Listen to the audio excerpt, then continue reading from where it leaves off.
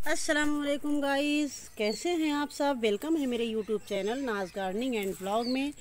तो फ्रेंड्स देखिए, मैं जो प्लांट लेकर आई हूँ, इसको अपराजिता कहते हैं और इतना हैवी ब्लूमिंग करने वाला प्लांट है। ये देखिए, कितने फ्लावर खिले हुए हैं। ये बहुत ज़्यादा ब्लूमिंग कर रहा है। ये देखिए, आप लोग इस प्लांट को अपने गार्डन में शामिल कर सकते हैं। इसको सीड से लगाते हैं और इसके सीड पॉट बनने लगते हैं नेक्स्ट सीज़न के लिए जो फ्लावर खिलते हैं, ये देखिए, इस तरीके से इसके सीड पॉट बनते हैं। और फुल सन लविंग प्लांट है फुल सन में ही ये अच्छी ब्लूमिंग करता है। सेल्फ सीडलिंग प्लांट है, अपने आप सीड गिराकर ये प्लांट निकाल देता है। और इसमें हम किचन वेस्ट का लिक्विड फर्टिलाइज़र दे सकते हैं। आप लोग इस प्लांट को ज़रूर शामिल करें, जो बिगर फ्रेंड्स हैं।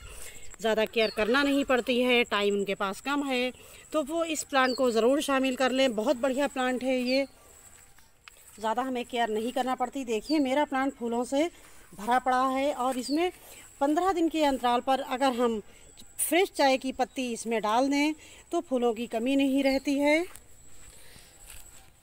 और ये समर सीज़न का बेस्ट फ्लावरिंग प्लांट है। कोई ख़ास केयर नहीं करना पड़ती है फ्रेंड्स आप लोग इस प्लांट को ज़रूर अपने गार्डन में शामिल कर लें। Thanks for watching happy gardening अल्लाह हाफिज़।